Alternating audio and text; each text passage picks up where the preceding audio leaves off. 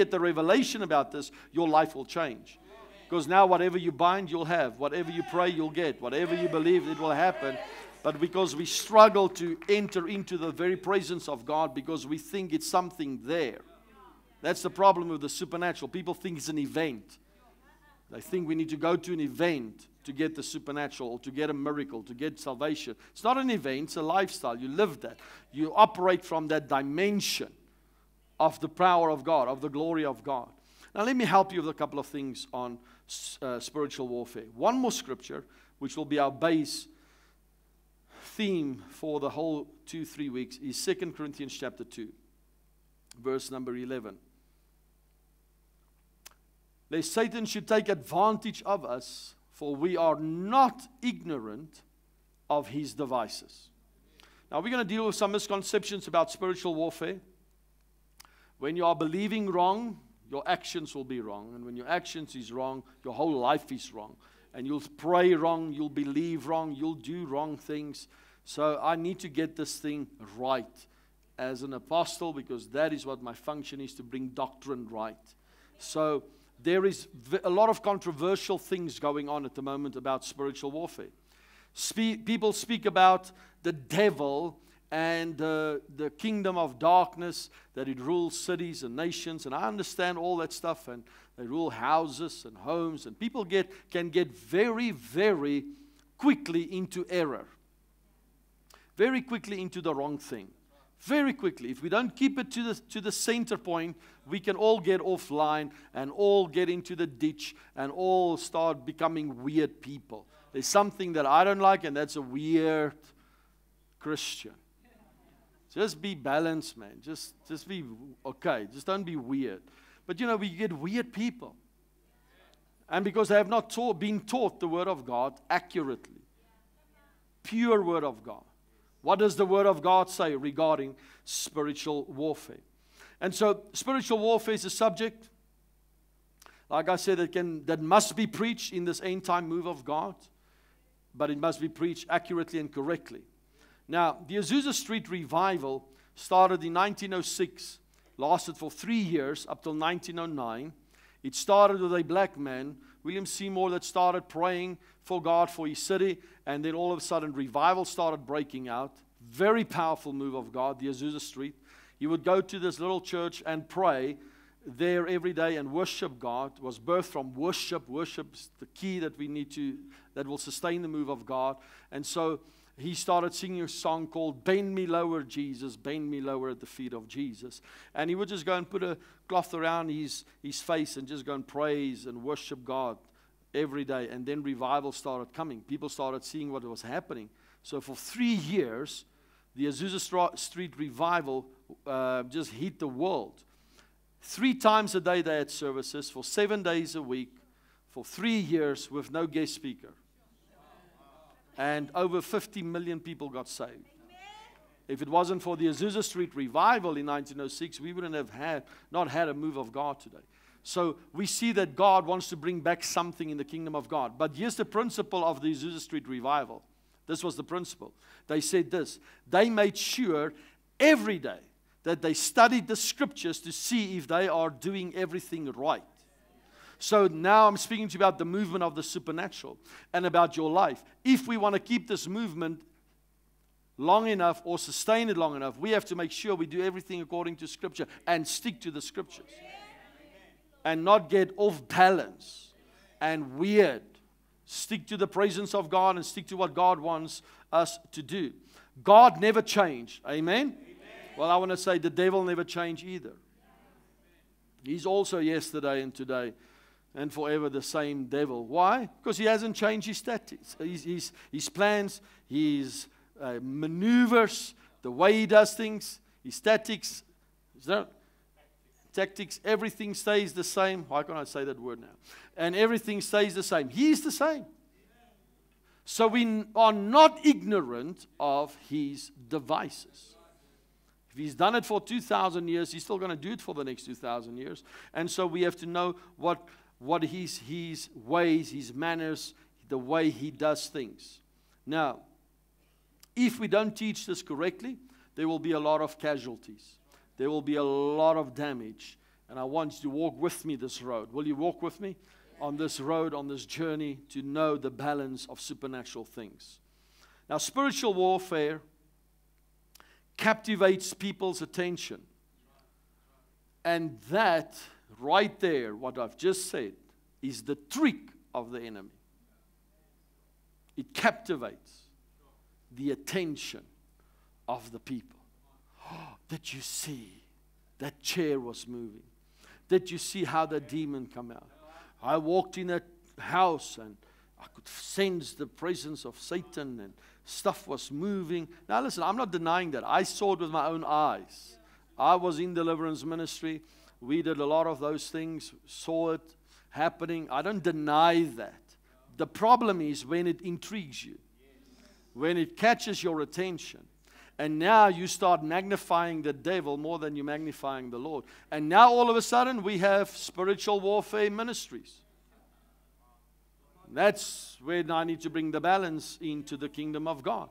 We see spiritual warfare toys being made at the moment for children, spiritual warfare clothes, spiritual warfare retreats, spiritual warfare conferences, spiritual warfare this. There's a spiritual militant conference, there is a spiritual air force. So I'm just, I'll get to those things now. So, what's happening now? Things are getting off track, man. There's no such thing as a spiritual warfare ministry. Yeah, you can type now on, on email. There's no such thing. There is the fivefold ministry the apostle, the prophet, the evangelist, the teacher, and the pastor. That's it. That operates in those things. But you can't make a ministry out of that. There is a ministry of administration, the Bible says.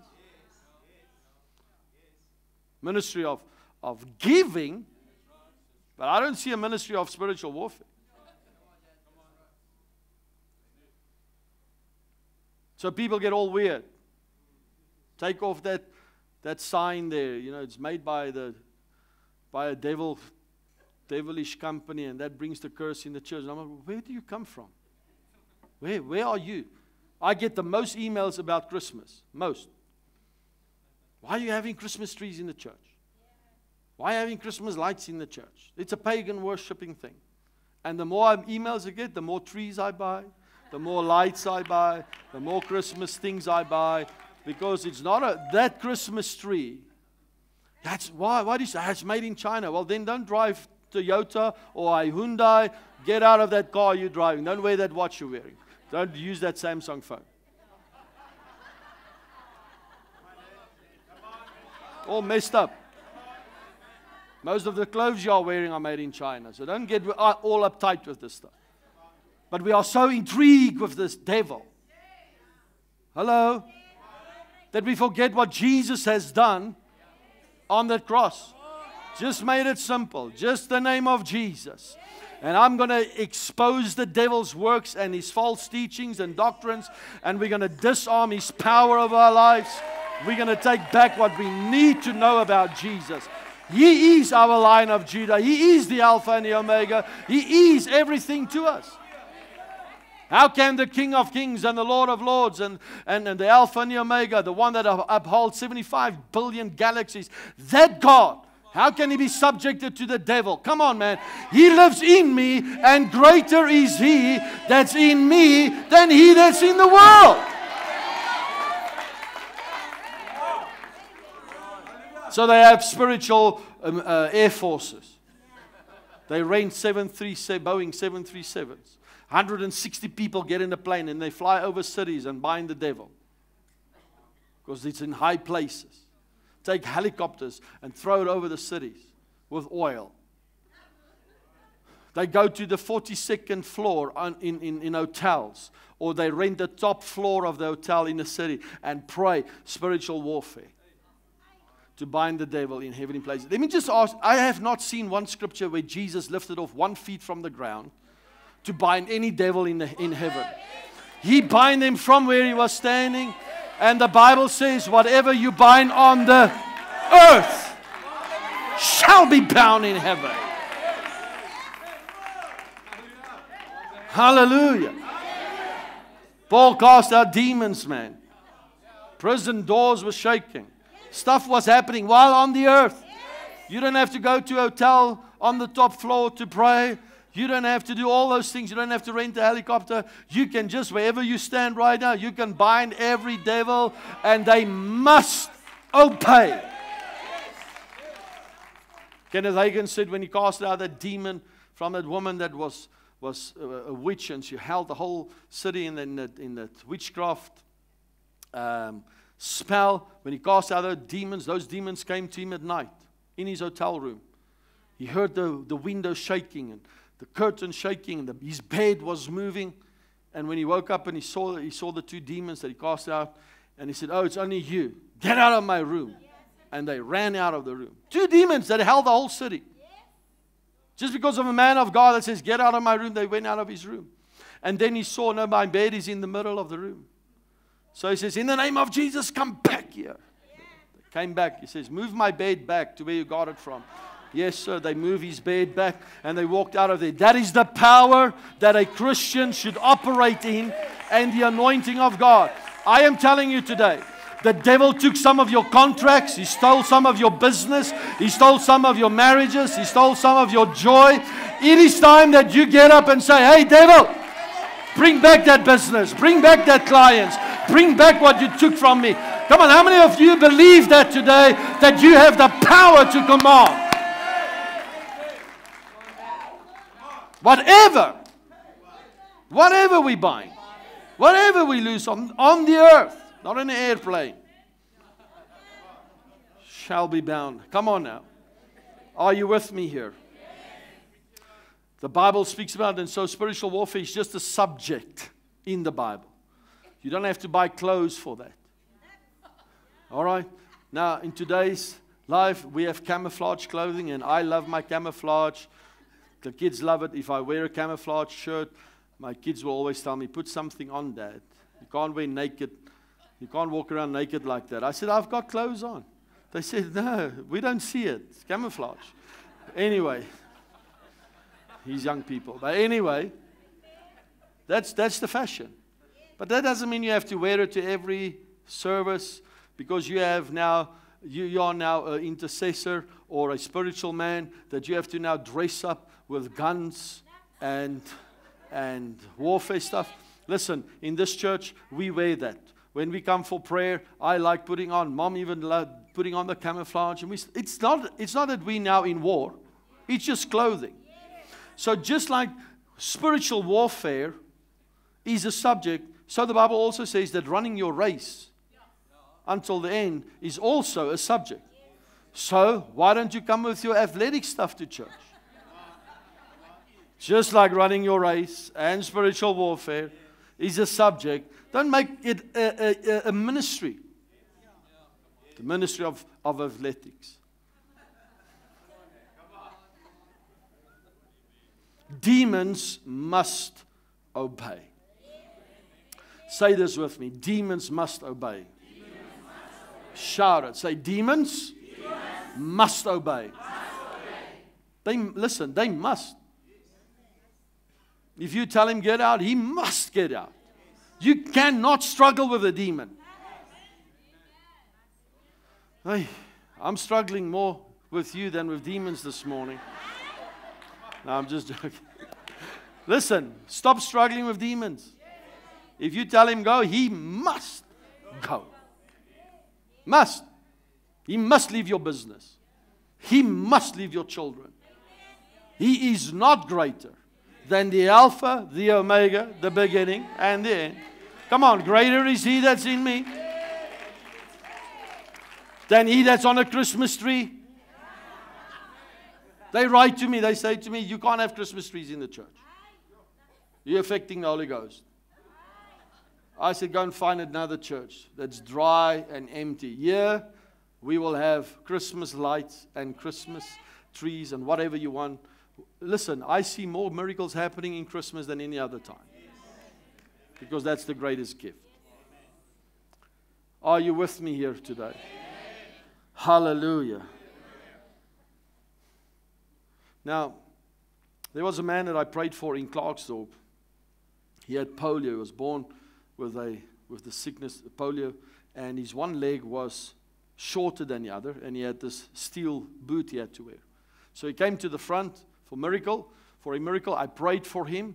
But when I prayed for him, I said to him this I said, Say Jesus is Lord. And he couldn't say that. Now, every time you test if somebody's got a demon, you, you ask them, Look at me and say, Jesus is Lord. Now, they will probably say that, but they won't look you in the eyes. All right? Because a demon cannot confess Jesus is Lord. So you ask him, Look at me, look in my eyes, say, Jesus Lord. And when I said that, this demon started manifesting from this man. It was going crazy. He was breaking chairs. I just went and, and stood there and watched until he's now done. And then I went up. I said, How do you feel? He says, Now I feel good and wonderful. And all of a sudden, the miracle took place. His leg grew out. And now he was unbalanced because the one leg is now, that was short is now level, and the shoe is now out of line. So I said, What shoe do you wear? He says, A number seven. I asked the church, Is there anybody who's got a number seven shoe? And a man came running to the front and gave him a pair of seven, a size seven shoe. Listen, that's just how God works. Don't tell people. Listen, we see on we see our demons come out of the in this church, right? Because we enforce that. We see miracles, we see salvations. But don't tell people you're going to vomit, you're going to scream, you're going to shout, those things will happen, however the demon manifests. All right, but don't tell them that. Otherwise, they, can't, they, they, they start focusing on that. All right? And then eventually we give credit to the devil again. If they vomit, if they scream, whatever, that's fine. It's manifestation. I always tell the devil this is what I tell him. You got in quietly, and you're going to leave quietly.